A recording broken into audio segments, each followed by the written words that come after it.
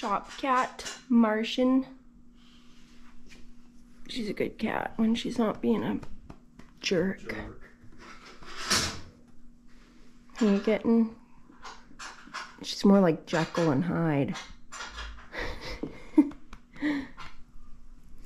Doesn't know if she wants to be good or bad.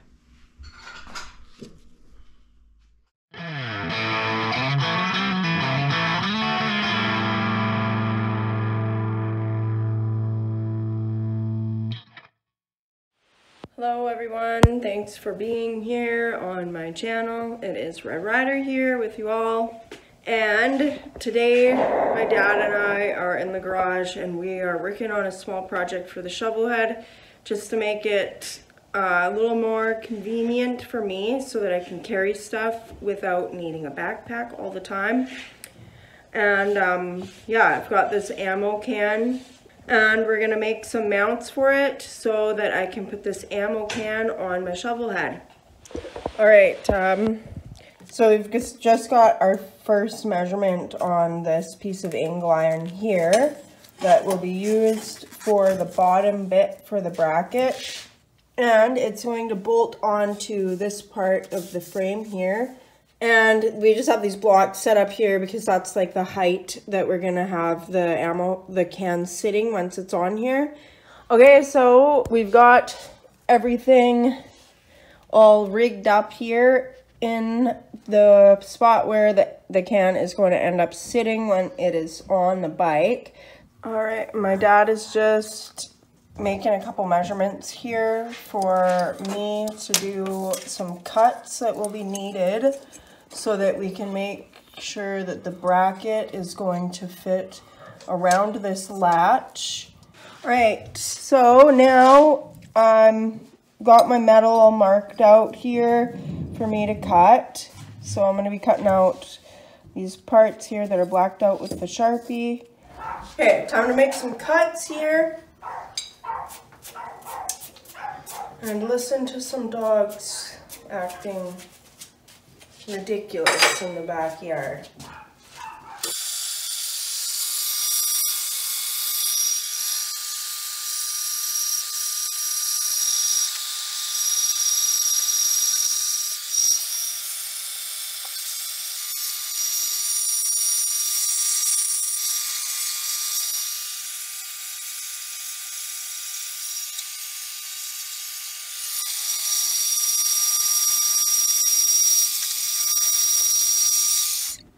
That is kind of how it's all gonna look.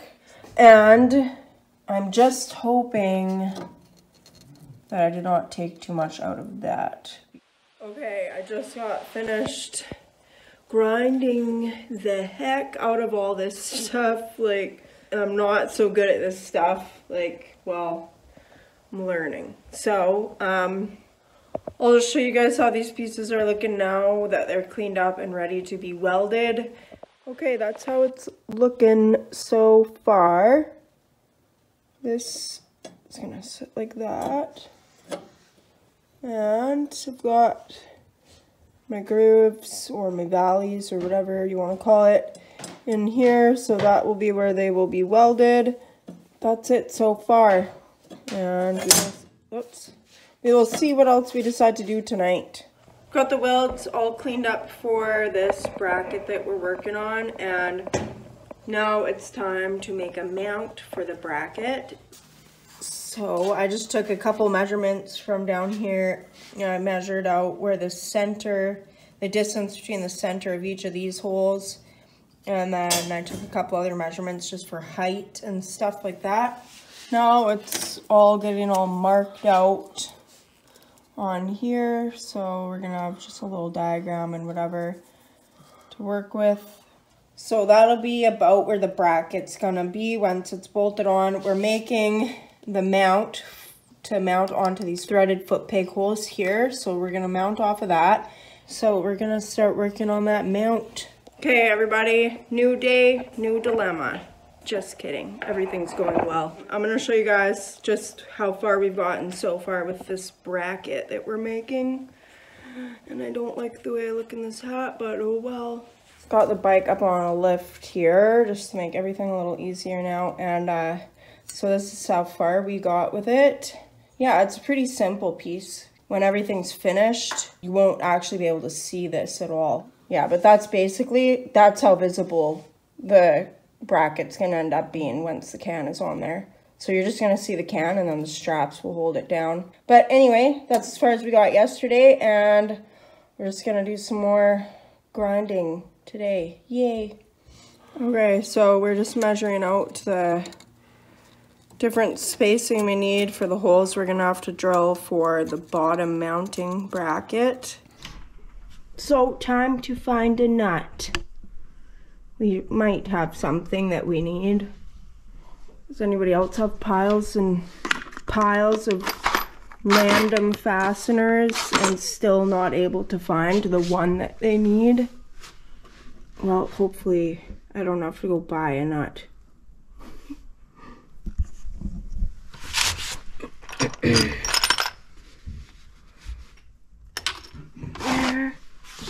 This actually looks like it might be the right one, but it's old. It'll be fine for mount for rigging it up for now. Okay, so time for the final fit to the frame because we've got the last mount welded on. Okay, so it's just all set up on the bench here, and these pieces will be welded to this flat bar here that we have cut out, and then this is going to be what the belt's attached to. This is all jigged up and ready to go. A lot of clamps, so we won't be warping anything, and everything should still fit properly around the box when we're done. So that's it for today. Now other than paint and a little bit of grinding and stuff like that, just clean it up a little bit, then it's finished. So, so far I'm happy with it. And I think it's going to be pretty useful. This uh, project, this little wee project that we're working on for the shovel head with this ammo can is, well, we've just been pretty casual about it. I've been pretty casual about it. So this is day whatever. but um, my dad's just cutting out the straps now for the buckles and everything and what's going to actually hold the ammo can into the bracket. This is our little hillbilly shop setup. So he's just got his straight edge there and just C-clamped to the bench and we just so happen to have a straight edge that's the perfect width for it's the perfect width for the straps that we're going to be wanting to use. Okay, everybody, so it's the final stage of this bracket, finally. And I'm just getting ready to paint it now, so I'm going to sand this whole thing down. One of my favorite things to do. Just kidding. And then I'll paint it, and it'll be ready to go on the bike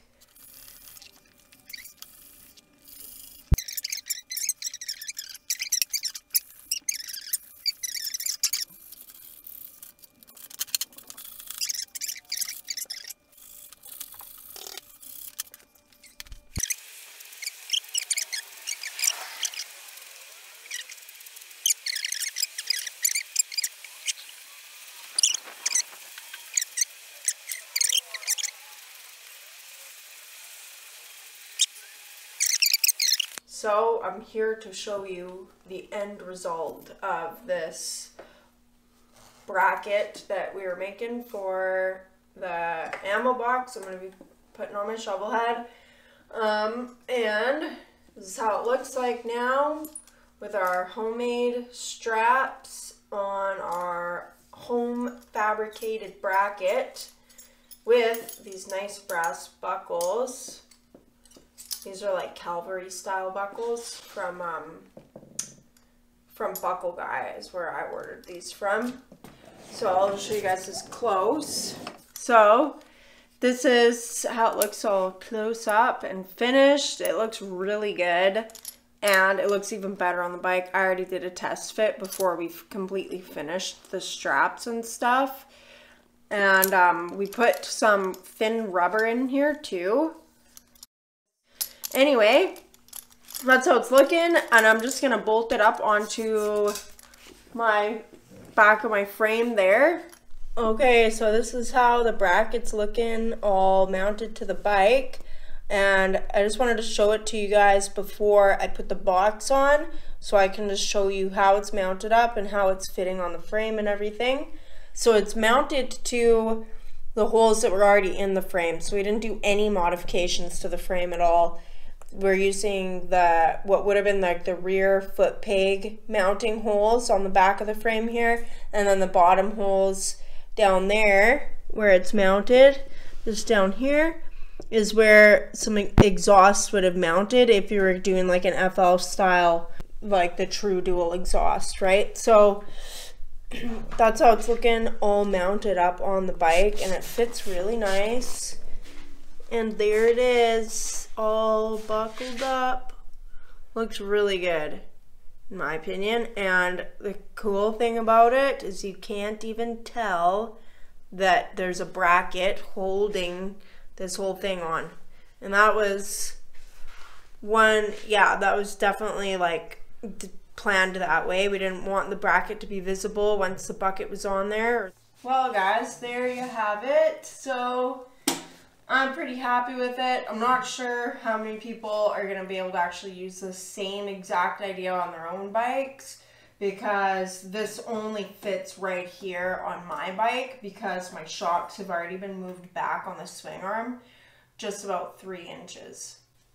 This is something I've wanted to do since my bike like from the beginning of my shovel head being on the road and it's just was never a priority because it was just kind of one of those oh, that would be cool kind of things that never really needed to be done. But now, well, why not do it now is kind of what I was thinking. Might as well because I'm not doing anything else on my shovel head this winter, it looks like, just because of, like I've already said, my living situation and stuff and just needing a different garage to be able to work in. It's got some leaks now that I can't ignore any longer because, well, I can't ignore them because shovel heads are always a leaky mess. But I don't want to because they're making a mess out of me every time I take my bike for a ride. So I've always got that signature Harley rider streak of chain oil actually from my transmission that gets onto the chain and then just wrecks all of my shirts and everything else that I wear while I ride my bike. Anyway, there it is guys. I think it looks pretty good. I hope that you guys liked this video and maybe some of you will be able to find this useful if you're riding some custom bike and you want to be able to fit some storage on that's like still kind of discreet. Like if if this was painted flat black you would hardly notice it. And being on the bike how it looks on the bike right now it really looks like it belongs in my opinion. Anyway, this I'll just show you guys how it comes off. And then that way you can just see for yourself just how quick and easy this is. Yeah, fits in there nice and snug with the rubber in there, so it's not going to be rattling around and making a bunch of noise while I'm on the, on the road. And I don't need to leave the bracket on when I'm not using the can. I don't need to leave the can on my bike because it can all goes off and on just really super easily. And it looks really good. When I take my bike apart again, um, I plan on doing some more paint. Well, I plan on repainting my bike because my, my paint's kind of jacked up right now. But I'm going to powder coat the frame and then I'll also paint this can to match, probably to match the bodywork is what I'm thinking. I'm looking forward to throwing some stuff in there and riding around and maybe even going for a picnic because I'd be able to fit lunch in there too with dessert. It'd be perfect. So anyway guys, I hope you all liked this video. Um, if you didn't find it useful, at least hopefully you found it either entertaining or interesting.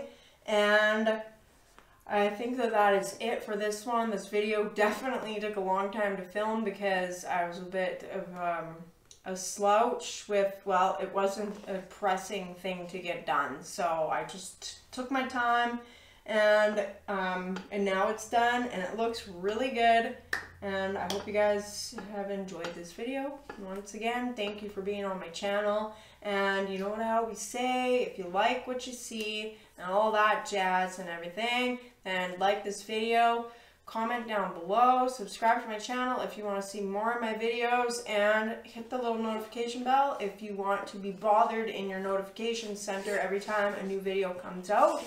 and like always, my people, I will catch you all on the flip side. Peace.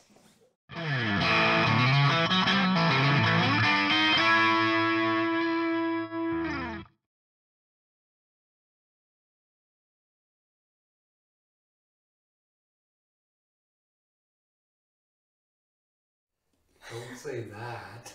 What? what you just said. Uh, I don't know if you guys noticed or not, but I've got my new little midget stool. So it's the perfect height. Ooh, it's actually the perfect height for adjusting my push rods on my bike. Check it out though.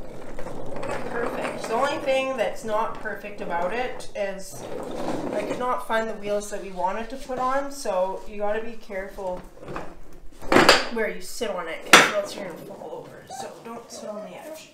But I think it's great.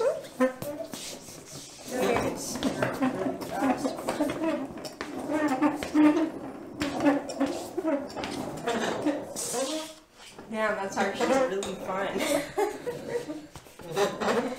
so if anyone wants to know how to make a midget stool, I can make a video of that too.